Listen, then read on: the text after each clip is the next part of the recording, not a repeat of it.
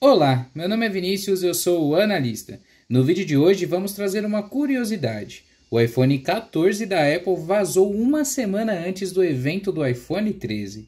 Vamos falar disso logo após a vinheta.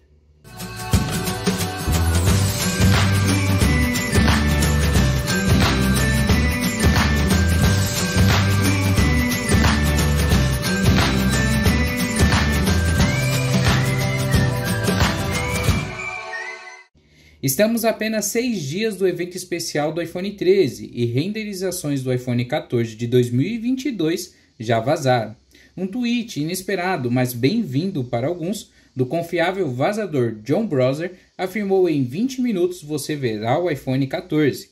E ele de fato entregou 20 minutos depois. Após o seu tweet que chamou a atenção, John postou um vídeo em seu canal do YouTube, Front Page Tech.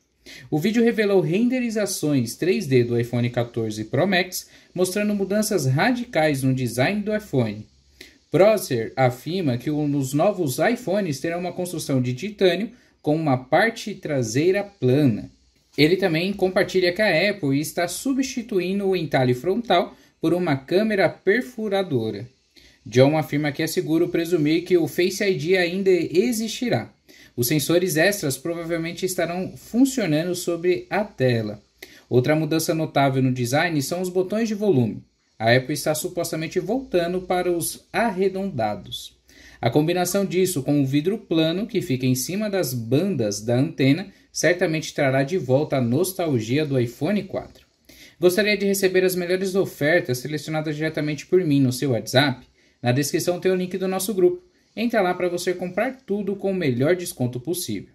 É importante notar que as cores nos rebocos não são necessariamente as reais do produto final. Prosser afirmou que apenas a construção e o design do rider externo vazaram, sem nenhuma palavra sobre as opções de acabamento ou da parte interna. Ele está bastante confiante de que essas renderizações são definitivas e, no entanto, chegarão à fase de produção já no próximo ano. Embora rumores anteriores tenham sugerido que a Apple poderia estar mudando para o USB Type-C ou ficando completamente sem portas para carregamento, parece que essa mudança não acontecerá tão cedo.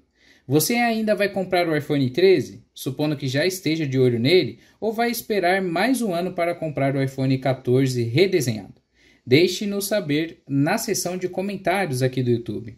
Gostou do vídeo? Se inscreva no canal e deixe o like. Até a próxima!